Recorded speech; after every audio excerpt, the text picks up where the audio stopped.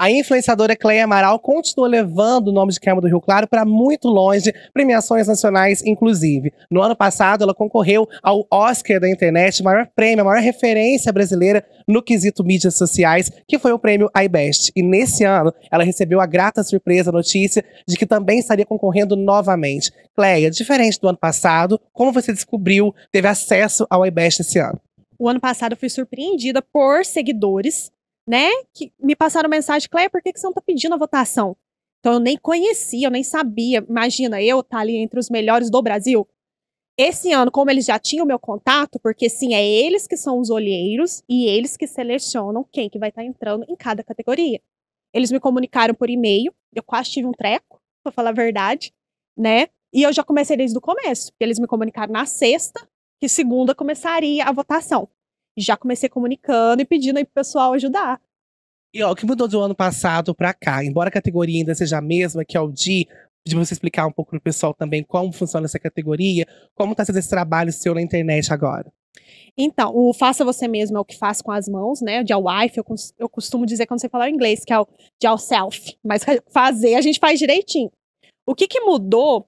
É, não, eu mantenho o mesmo padrão de linha, que é a transformação de lares, né? Hoje eu tento trazer mais para os meus seguidores. E essa parte de tá, é, o ano passado a gente visualizou, viralizou com 12, 10, 11. Esse ano, graças a Deus, a gente já viralizou com 6, embora com todas as mudanças que teve no Instagram. É, viralizou também no TikTok, no YouTube, que eles olham todas as plataformas. Eu tento trazer o máximo de mim, de verdade. E assim, eu tô muito feliz. Não, eu não tenho nem o que falar de tanto que eu tô feliz.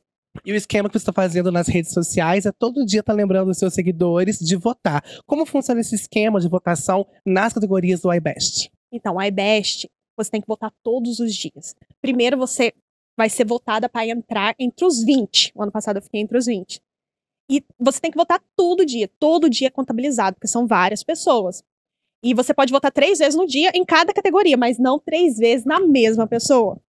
Então hoje eu pedi voto, deixei o link lá no meu store, amanhã eu vou pedir de novo. Até terminar essa seleção dos 20. Aí eles param alguns meses, faz a seleção, depois começa de novo, entre os 10. Desses 10, entre os 5 e dos 5 entre os 3. Aí os 3 é, estarão ganhando primeiro, segundo e terceiro lugar. Você havia comentado que recebeu um convite no ano passado para ir participar da premiação. Não teve como ir, né? A possibilidade de ir, mas esse ano está confirmada. Gente do céu, eu vou nem que for de carroça.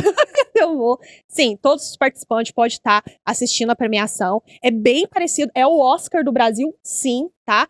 São gente, assim, de alto nível que estão participando, até os menores. Eu sou petitinha, né? Me sinto petitinha, me classifico pequena, mas não é impossível, desde que a gente faça com coração.